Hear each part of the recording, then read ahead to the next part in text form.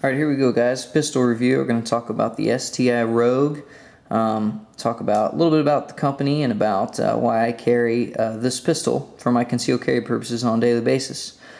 Uh, so let's get right into it. The STI Rogue was designed to be a carry gun.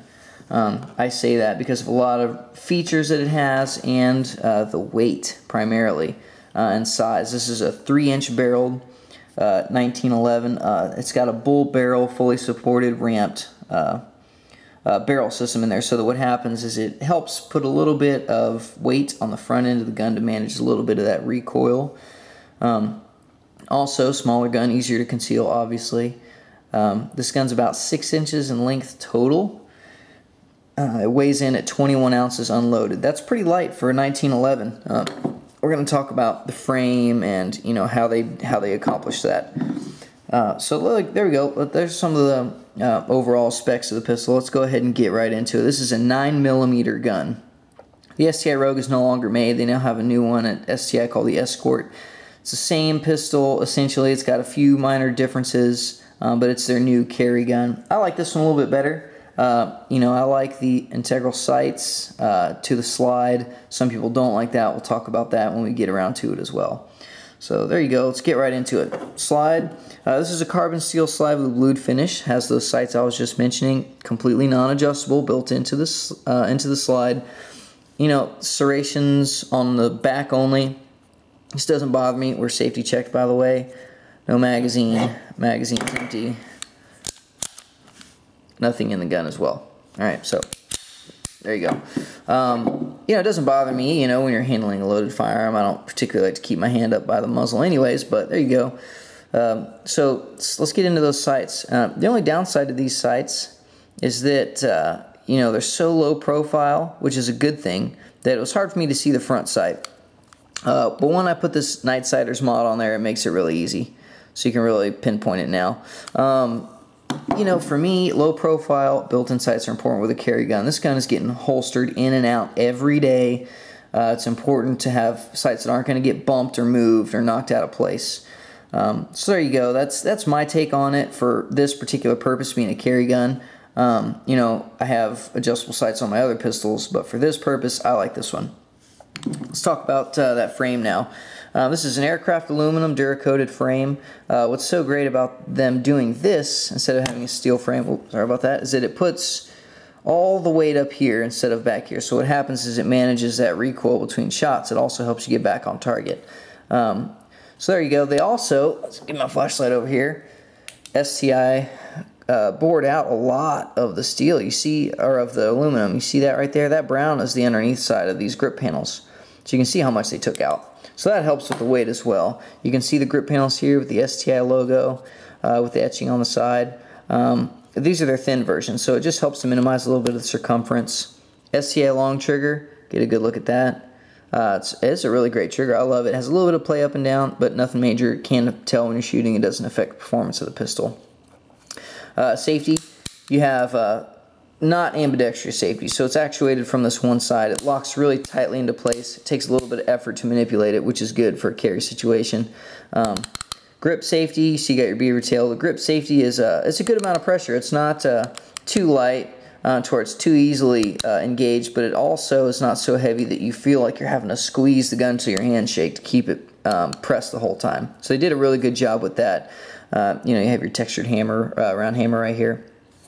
Uh, so there we go. There's some of the externals of the guns. You get a little idea of that. Uh, another thing that STI did to manage recoils, they put in a recoil master. Um, this is, uh, what, what it does is it takes your uh, guide rod and spring and everything and it, it makes it into this one unit. It just makes it easier to manage when you're taking the gun apart and it helps to minimize a little bit of that recoil. So let's go ahead and strip this gun down.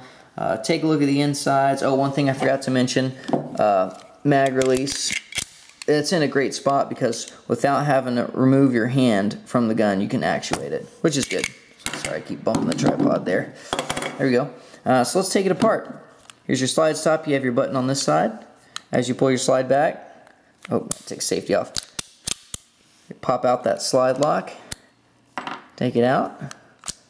Okay, slide comes forward. There you go. And then here we got the guide, uh, the uh, STI Recoil Master. Take this little plug out. There you go. Barrel comes out the front, just like that. There you go. There it is all broken down. So not a ton of pieces to have to deal with. Um, you know, it's easy to manage, easy to keep clean and take care of. So Recoil Master makes it a lot easier, not having the bushing on the front and having to deal with all that. Uh, spring flying across the room if you're not paying attention. I mean, this is just makes everything a lot easier. And again, helping to manage that recoil is important on a, on a small frame gun like this. Um, so I was going to talk a little bit about the Escort and some of the differences. Uh, you know, the Escort has sights on it that are adjustable. Uh, for some of you guys, this may be uh, an important factor. Uh, for me, it's not. It also comes in a couple other calibers too. Uh, the new Escort does. Um, the only other difference between that that I see is that it has the officer's length magazine, which sticks out of the bottom of the gun a little bit. This gun, not that gun. That gun, the frame is built accordingly. Uh, also, the barrel on that one is 3.24 inches instead of 3 inches. Um, other than that, you're looking at the same pistol. Um, so, you know, it's a newer version of the same one. You can still find this gun used some places. Um, the only downside is uh, if you have this gun or you buy this gun, uh, continuing to find its parts uh, down the line. Now, does that mean I think that this gun's going to need new parts because they're going to break? No, absolutely not. But things like wanting to buy extra magazines might become a little bit of an issue. Let's put this gun back together and I'll show you what I mean. I'm try to do this around the tripod as quickly as possible, so bear with me here for a second. So we got the, uh, there we go, got it in right. Here we go, recoil master going in. I'll turn it this way so I can see.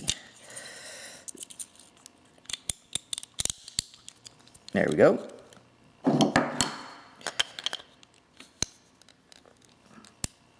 Okay.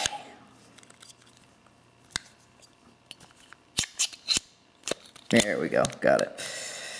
Okay. Now, so when I'm talking um, about the Escort and having uh, some of these issues with you know, finding parts to this gun now that it's no longer being manufactured. What I mean is primarily the magazines.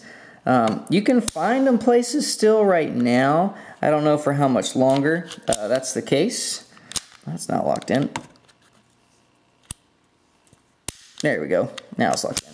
I don't know for how much longer that's the case, but I, you know, I, I contacted STI and had them send me one before realizing that I could find them online. And they sent me one for the Escort because that's their new version of this gun. And I'll show you what I mean. See how it sticks out a little bit right there? Uh, it doesn't stick out too much, doesn't really bother me, to be quite honest with you. But if I wanted to find some more parts for the Rogue and find more of these original magazines, which sit completely flush, I can do that online. Uh, couple of websites, Dawson's Precision, uh, places like that, still carry some of the Rogue stuff. They still sell Rogue. So like I said, you can still find it at certain places, but it not being manufactured anymore, if you're interested in this gun, I'd get on it. Um, it's definitely worth it. it. It comes in at right about a thousand bucks. The new one is around twelve hundred, depending on where you're getting it from. Um, but this gun, you know, has had about five to six hundred rounds down range with me. Uh, I've never had an issue with it, never had it uh, misfire, never had, you know, ejection problems. I've never had issues with uh, the magazine. I mean, I've never had any issues at all with anything with this gun. Also, for its size, I was surprised at how well I was able to put put rounds down range comparable to some of my larger guns as far as accuracy with those built-in sights. Um, they did a fantastic job with it.